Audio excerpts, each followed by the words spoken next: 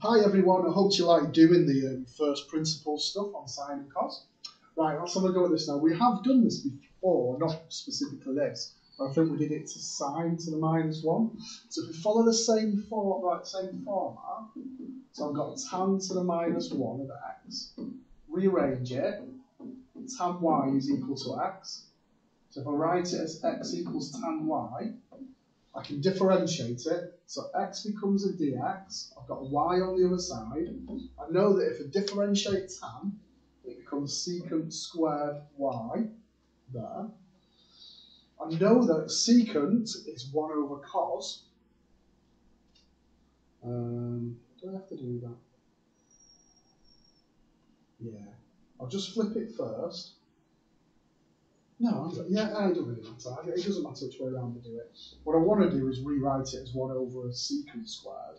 So if I flip it, it's 1 over a secant squared. Um, yeah, that's where I want to be. I was going to do something else, but I'm not. I'm going to stick it like that because I can do something else now. Now I've got from sine squared x plus cos squared x is 1. If you remember, now I've got a secant squared which I want to replace, which is a 1 over cos squared.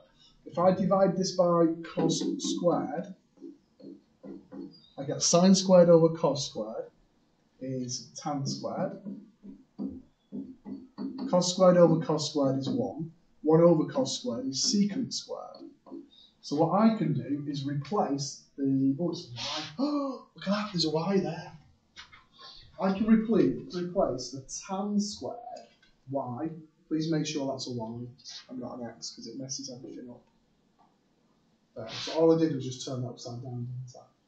So I can replace the secant squared with 1 plus tan squared and just make sure I put a y down for this. There. There. So if you look what I've done, I've got a dx by dy secant squared y. Flipped it, accidentally put an x there, that's no good. And then if I use the fact that x is tan y, then x squared is tan squared. So dy by dx is 1 over 1 plus x squared. And this is one of those ones where it was always in the book but never really tested. It always came out in further maths. Uh, but it's just in case they do. Like, because there'll, there'll be a question in the papers where there's an error in it, and you just have to follow the maths through and find the error. So it's good doing these because it helps you find that. Now there's another one here for cos 2x. Oof, look at that with a minus 2 and the 4. Uh, I'm going to reveal this. Please try and follow it. It's not that easy, he says. Uh, and then I think it's questions then. Yay, questions. Right, we'll stop now. Bye bye.